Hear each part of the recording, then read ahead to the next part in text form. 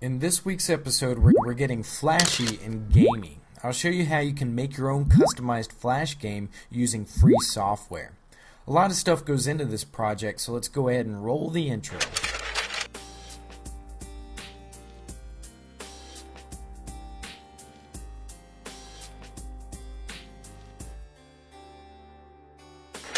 After getting my beta invite for a new Flash game called Glitch, I've been wondering what it would take to make my own Flash game.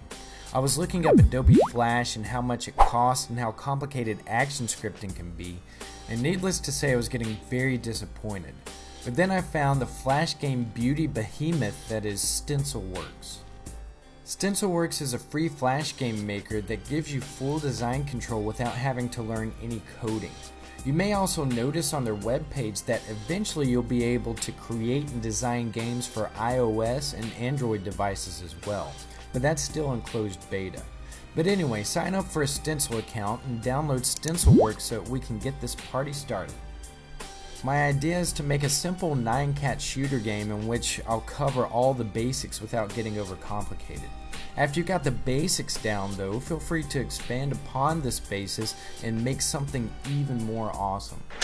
So start up Stencylworks, sign in, and get the game listings. You can customize and edit any of these games as your own, but since we're starting from scratch, let's just create a blank one. Give it a name, choose a size, and click Create. Now take note of the screen layout. To the left you'll see the library which is where all of your game components will be stored.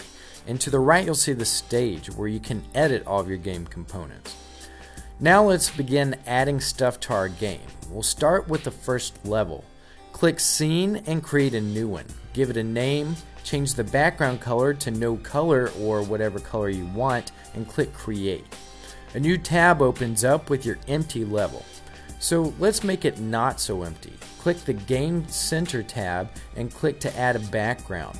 But instead of creating a new one, let's grab one from Stencyl Forge. Stencyl Forge is a free market for downloading Stencyl game components. This is where all of our components for the game will come from. So search for Universe 1, select it and download it. Downloading stuff from Stencyl Forge adds it to your game and opens it up in a new tab. The new tab lets you tweak the component settings. For the background we want it to scroll left, so under horizontal speed set it to about 50 and make sure repeat background is selected. Then to attach it to our scene, click attach to scene at the top and double click on the first level that we created. Now we're back to the scene tab but just under the background section. To switch back to scene view, click on the scene section again. Whoa, wait a second, it's empty. Well, to view the background, you can click this button, but before I do that, I'm going to add some player actors first. So, back in Stencyl Forge, search for Nyan Cat, Tac Nayn, Bullet, and Enemy Bullet.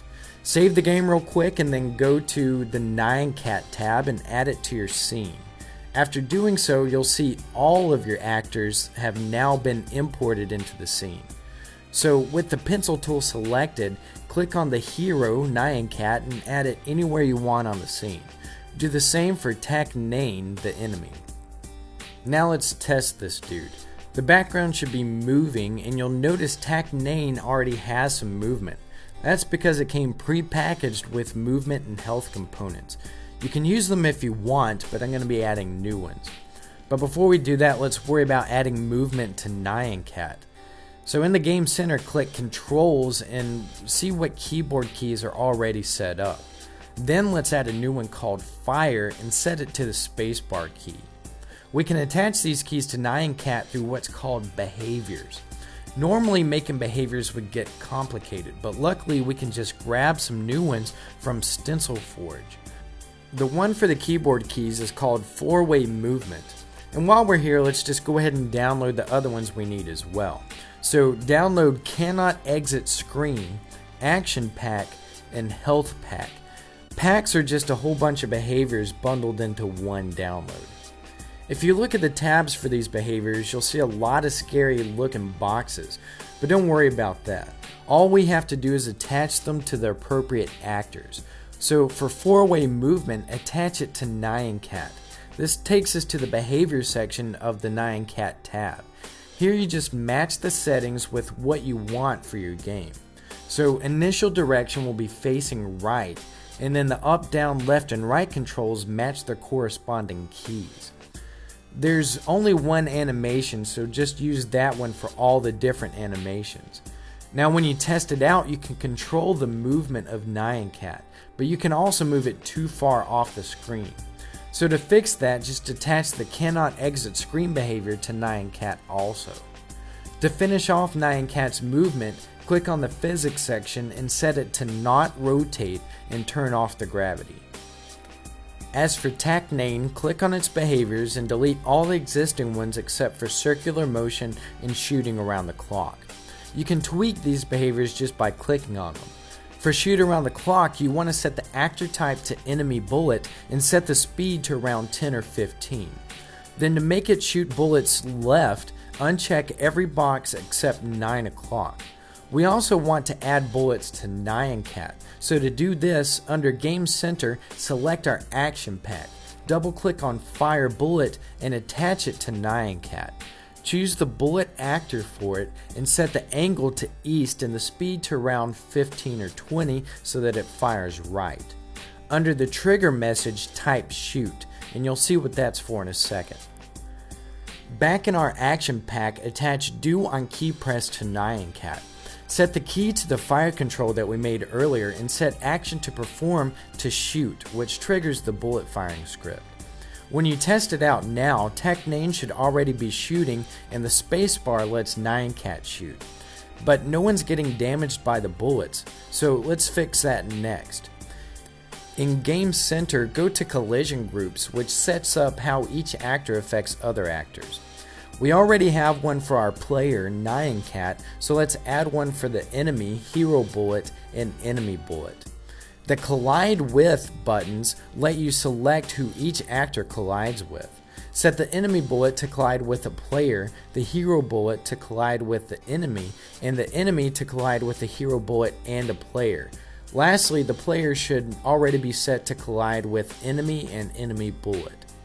Then assign these collisions to each actor. Under Nyan Cat, click collision and set it to player. For Tac Nayn, set it to enemy. For enemy bullet, set it to enemy bullet, and for bullet, set it to hero bullet. Like the Nyan Cat and Tac Nayn actors, the bullets can also be given behaviors. Under Game Center Actor Behaviors, we want to select collisions and attach die upon collision to both bullet actors. Then under our health pack, attach inflicts damage to both bullet actors as well. You can set the damage attributes to whatever you want, but I set mine to 2. Lastly, let's give our players some health attributes. In Game Center, select Health Pack and attach the health behavior to both Nyan Cat and Tac Nayn. For the settings, set the initial and max to 10. Also from our health pack, add a flicker when hit behavior so that we know when both players are hit. Last but not least, add a health bar to both players so we know how much damage has been done. Now test it out, and that's it. You've made a fully fledged Flash game. So now you can publish it or upload it to stencyl.com, or you can export it as an SWF file and burn it to a CD or flash drive. From this starting point, I want to see what you guys do with it and what you add to it. Try to add stuff like sound effects, background music, explosions, title screens, and even different levels. Have fun with it and be sure to check me out on Google, Plus, Facebook, and Twitter. That's it for this tutorial. For more, go to tinkernut.com.